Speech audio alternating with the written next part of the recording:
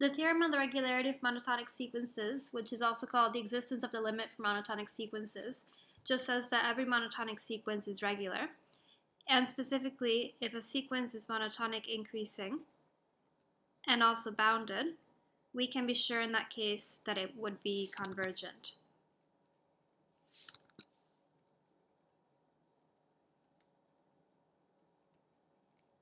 Keep in mind that the opposite is not true. So if a sequence is bounded, it doesn't have to be increasing. It doesn't have to be monotonic at all, actually. And if instead the sequence is monotonic, increasing, and unbounded, we can be sure that it's going to be divergent to plus infinity.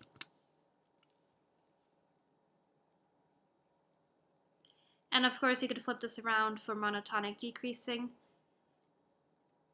So if it's decreasing and bounded, it would now be convergent as well.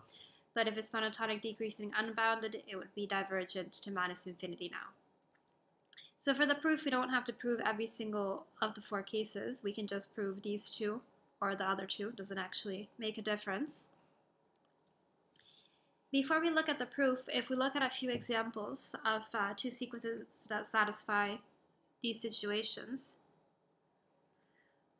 for the first one, we could have something that looks like this, that converges to a number, which we can call L. And for the second case, if it's increasing and unbounded, Keep in mind that any increasing sequence is definitely bounded below. So if they tell you that it's unbounded, since automatically it has to be bounded below, then it must be unbounded above. So maybe something like this. So just to clarify, with functions, if something is increasing, it does not have to be bounded below necessarily. But for sequences, it does, because keep in mind that the first point for a sequence is a specific point.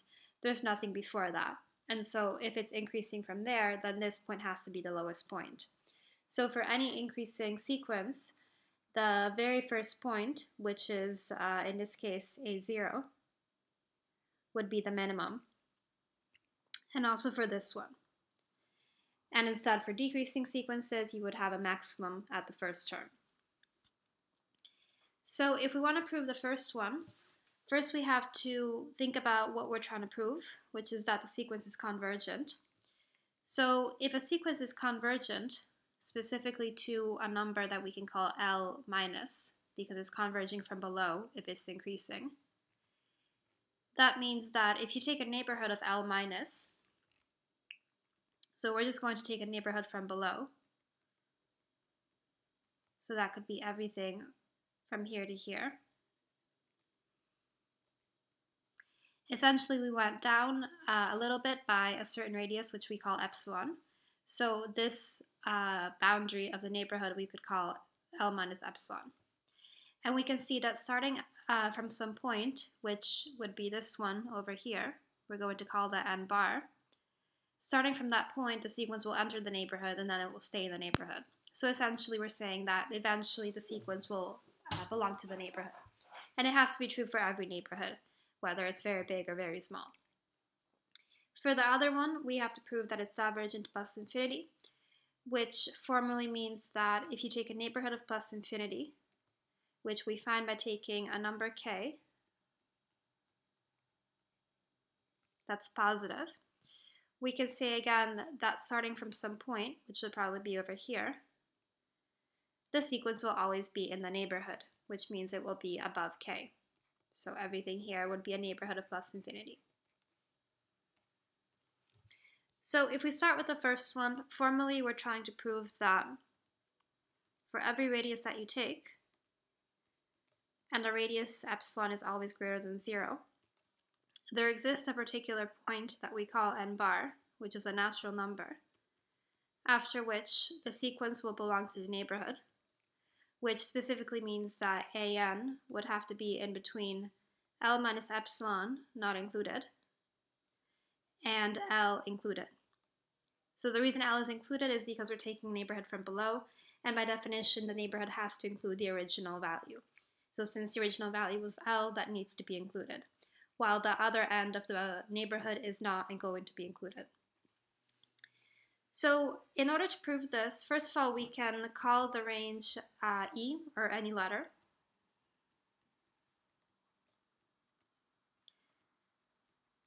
Since in the first case, we're assuming that it's monotonic, increasing, and bounded. If it's bounded, that means that the range is bounded.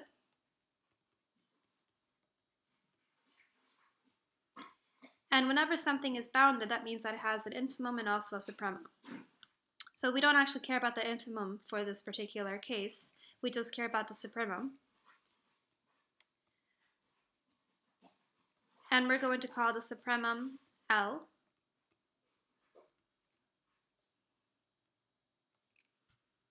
And using the properties of a supremum, a supremum is a value that is always bigger or equal to all the values of the sequence.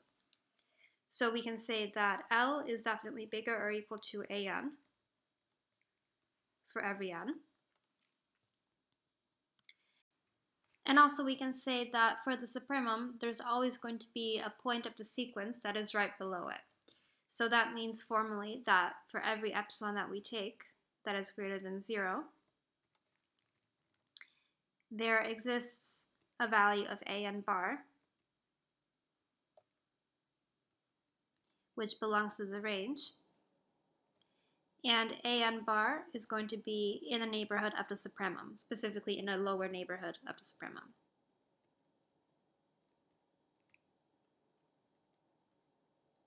So notice how this is very similar to what we were trying to prove. The difference is that in, uh, in the part that we're trying to prove, we're trying to say that after some point, all of the points of the sequence will belong to this neighborhood. And right, right now we're just saying that there is a specific point which belongs to the neighborhood.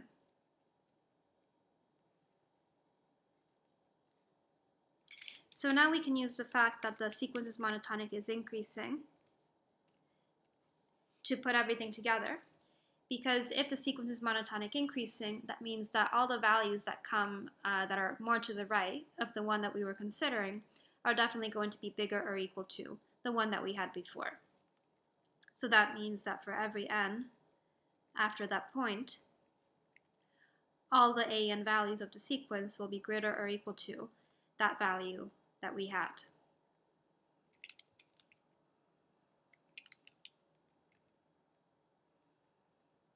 And if we just flip the, flip the inequality around, we get an bar is smaller or equal to an. So if we now combine these two inequalities together, notice how they both have a and bar. So if we put it all together, we get L minus epsilon is smaller than a n bar, which here we said was smaller or equal to a n, which in turn is then smaller or equal to L. Since L was a supremum, so a n cannot go past L. Now for the definition of convergent, the one we had up here, we didn't really care about a n bar, so this part we can just ignore. And this way we're left with what we were trying to prove. So this confirms that AN is converging to L, specifically from below. So we can write that as AN converges to L minus. So the main idea here was just that we said that using the definition of the supremum, uh, there was always some point in the range that was very close to the supremum itself. So essentially, it was in a lower neighborhood of the supremum. And then we concluded that since the sequence was also increasing, all the points after that specific point would also have to be in the neighborhood, which then would satisfy the definition of convergence. Now we can look at the other situation. So for the other situation, the sequence is monotonic increasing and also unbounded. So I mentioned earlier how if a sequence is monotonic, increasing automatically is bounded below. So if you're told that it's unbounded, that must specifically mean that it's unbounded above. So we're just going to prove this. And uh, specifically what we need to prove is that for every k value which is bigger than 0, there exists an n bar, so again a specific point, after which the sequence will be greater than k.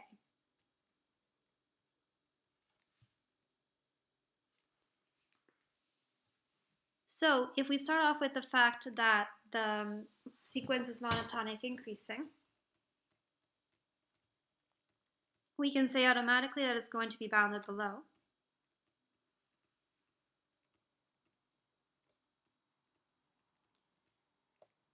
Because all of the sequence terms, which we can call an, are definitely going to be smaller, sorry, bigger or equal to the original term a0. So since we know from the beginning that it's monotonic, uh, increasing and unbounded, if we know that it's bounded below, now we can say for sure that it's specifically unbounded above.